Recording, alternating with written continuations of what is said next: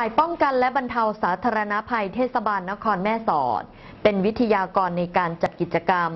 อบรมเชิงปฏิบัติการ ฝึกซ้อมแผนระงับอัคคีภัย และการอพยพหนีไฟในสถานศึกษา สร้างความปลอดภัยขั้นพื้นฐาน ภายใต้โครงการ สถานศึกษาปลอดภัย ที่โรงเรียนสัพพวิทยาคมค่ะ ที่บริเวณโรงเรียนสัพวิทยาคมเขตเทศบาลนครแม่สอด ดรเทิดเกียรติจินสรนันนายกเทศมนตรีนครแม่สอด สั่งการให้นายฉลองเขียวนันใจ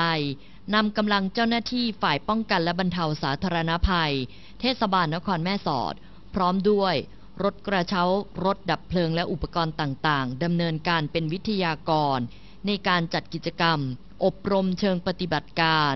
ฝึกซ้อมแผนระงับอัคคีภัย และการอพยพหนีไฟในสถานศึกษา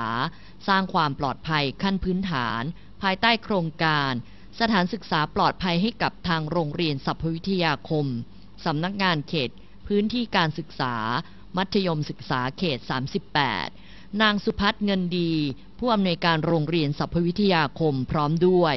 คณะผู้บริหารและคณะครูผู้รับผิดชอบ โครงการ สถานศึกษาปลอดภัย จัดกิจกรรม การอบรมเชิงปฏิบัติการ ฝึกซ้อมแผนระงับอัคคีภัย และการอพยพหนีไฟในสถานศึกษา สร้างความปลอดภัยขั้นพื้นฐานภายใต้โครงการ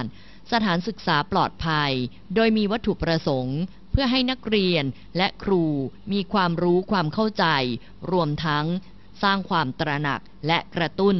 ถึงแนวทางการป้องกันเหตุอัคคีภัย ที่จะเกิดขึ้นในสถานการณ์ต่างๆ ได้ฝึกประสบการณ์ ได้เรียนรู้วิธีและแนวทางปฏิบัติที่ถูกต้อง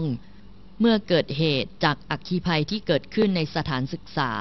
โดยกิจกรรมในช่วงเช้าเป็นการบรรยายให้ความรู้แก่นักเรียนแกนนำเกี่ยวกับวิธีการดับเพลิงขั้นต้น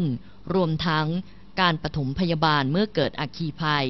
มีนางพัฒนันจิระเลิศธนานนท์ รองผู้อำนวยการโรงเรียนสัพพวิทยาคม เป็นประธานในพิธี เปิดกิจกรรมดังกล่าว ได้รับความอนุเคราะห์วิทยากรจาก ศูนย์บรรเทาสาธารณภัย เทศบาลนครแม่สอด ส่วนในภาคบ่ายเป็นกิจกรรมฝึกซ้อมแผนเผชิญเหตุอัคคีภัย และอพยพหนีไฟ ในสถานศึกษา มีนางสาวทิพยรัตน์ส่งประเสริฐ รองผู้อำนวยการโรงเรียนสัพพวิทยาคม เป็นประธานคณะกรรมการชุดดับเพลิงขั้นต้น ทางโรงเรียนได้เชิญทีมผู้เชี่ยวชาญจากฝ่ายป้องกัน และบรรเทาสาธารณภัย เทศบาลนครแม่สอด มาให้ความรู้ทำให้ได้เรียนรู้วิธีและแนวทางปฏิบัติที่ถูกต้อง เมื่อเกิดเหตุการณ์จากอัคคีภัย ที่เกิดขึ้นในอาคาร ซึ่งจะทำให้เกิดความคุ้นเคย และแก้ไขปัญหาได้ หากต้องเผชิญเหตุการณ์จริง โดยมีเจ้าหน้าที่จากสถานีตำรวจภูธรแม่สอด และมูลนิธิกู้ภัยพิทักษ์การ ร่วมกิจกรรมในครั้งนี้ด้วย